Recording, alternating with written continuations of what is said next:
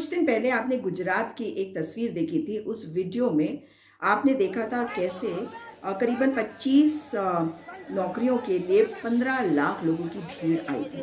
ये युवा बेरोजगार है, ये भारत का युवा है। और आज एक और वीडियो वायरल है जो मुंबई के एक किसी इलाके में कहीं नौकरी के आवेदन के लिए मतलब भीड़ ही भीड़ है। और हर जगह बेरोजगारी का जो आलम है, वो ये बता रहा है कि अगर मध्य प्रदेश से भाजपा के विधायक ये कहते हैं कि आप पंक्चर की दुकान खोलो, प्रधानमंत्री जी कहते हैं कि आप पकौड़े तल लो, आप नाली का गैस निकाल लो तो ये बता रहा है कि भारतीय जनता पार्टी की सरकार नौकरी देने देने में विफल है।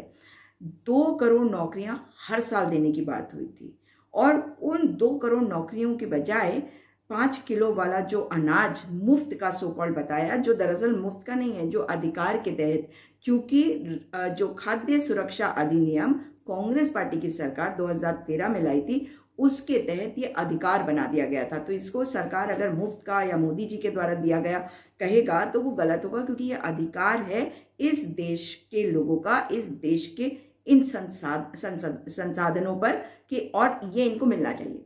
लेकिन ये जो नौकरियाँ नहीं मिल रही हैं इसके जिम्मेदार कौन है? दो करोड़ नौकरी हर साल के हिसाब से दस साल में बीस करोड़ युवा जो है वो नौकरी पा जाते हैं। फिर वो कहते हैं कि नौकरियाँ कोई सरकारी नहीं होती।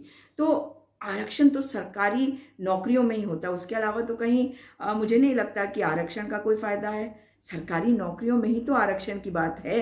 अब तक इसके आगे जब इंडिया अलायंस की सरकार आएगी तो वो इसका जो दायरा है वो बढ़ाकर क्या करती है वो देखने वाली बात तब होगी। लेकिन इस वक्त अगर हम आरक्षण की बात करते हैं तो वो बेसिकली नौकरियों के लिए ही होता है।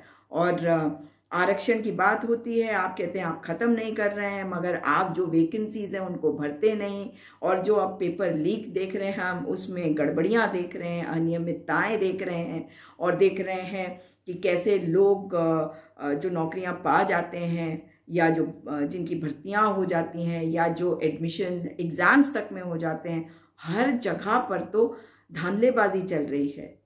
इसलिए जो एडमिशन्स में, जो नौकरियों में आरक्षण है, वो तो तभी ठीक से इम्प्लीमेंट होगा, जब आप उसे ठीक से इम्प्लीमेंट होने देंगे।